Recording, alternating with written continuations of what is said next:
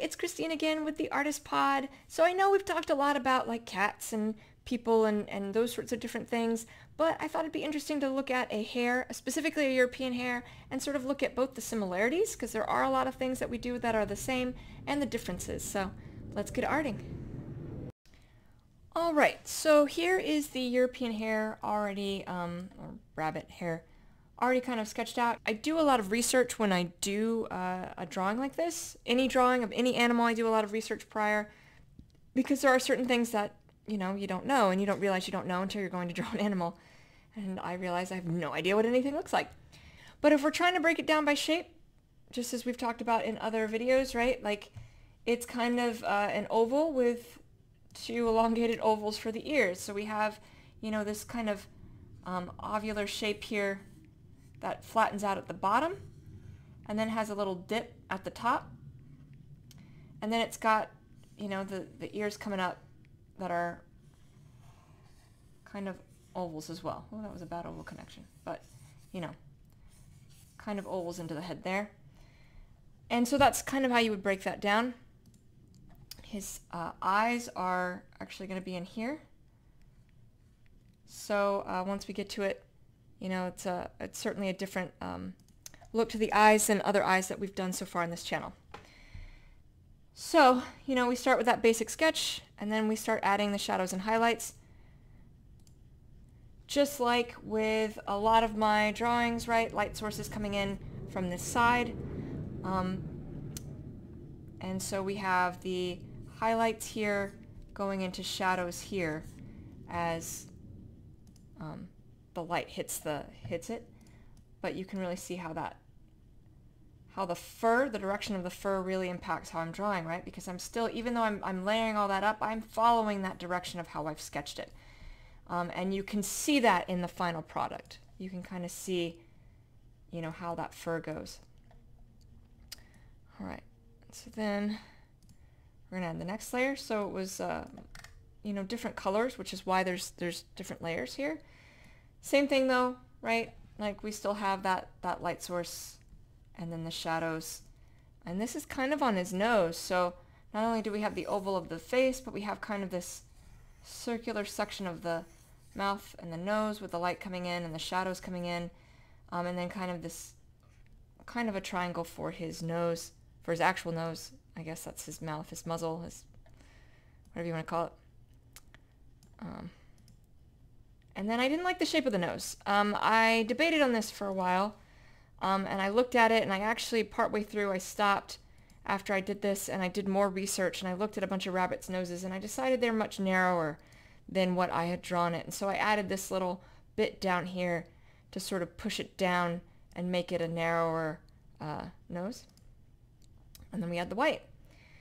Um, and not the ears yet, but you can really see, you know, the light coming in over here, you can see how we've highlighted the cheek on this side, but on this side we have a little bit of highlight and that goes into shadow, right? Because there's more than just the, the oval and the circle of, you know, we have more than just these shapes, then we have, you know, this shape within the other shapes, um, and you have, you know, this shape within that, and sort of so on and so forth, and each shape, you know, there's going to be some of that there, where you have highlights here, shadows here, a little bit of highlight here and then shadows here, highlights here, shadows here, highlights here, shadows here, right? So it's shapes within shapes and breaking all of those shapes down, um, still honoring the, the shadows and highlights of the bigger shape of the, the rabbit face, then honoring the shadows and highlights of his, of his muzzle, and then his, eh, you know, his lips or cheeks, and sort of so on and so forth and making sure that each of those you know has that little bit of highlight that's what's going to make a difference with how you're you're adding those shadows and highlights and what's going to make it look a little bit more real. All right and so then we start adding in the ears. Um, and the ears kind of come behind the eye. So anytime there's a lot of animals whose eyes kind of do this um, and anytime they do, I try as much as possible to allow fur to pop up behind them. So I extended the ears down a bit, um, more than I would have sort of initially when I was drawing it, because I wanted something to help give more context to the eyes. But also their ears do come down pretty far. So it's, it's not that I was sort of arbitrarily deciding, but I did push them down a little bit further. The more I can get behind a, sort of the, the, these side eyes, the better. And they're also going to have a little bit of eyelashes coming in. And then we add some of that white. So this was that, that brownish color and then some of that whitish color. And then we start adding the shadows and highlights. And just like before, and you can see I left a gap here for some eyelashes um, on his uh, on his eye. But just like before, you know, the light source is coming in from that right. So we have the light here, um, shadow on the inside, light on that inside on this side where that light's coming in, shadow on that back side. Same thing over here where the light's catching or not catching. And then we add more of that for the, uh, for the white. Now, um, he had some black ear tips as I drawn in and black eyelashes because I didn't fully think that, you know, if I did it on one side, I had to do it on the other, and the only way to do it on the other was to actually add in a grayish color. You can see that I did that there. Um, it also added in his nose. You can see that down here, where there, his nose is black, and his little lip.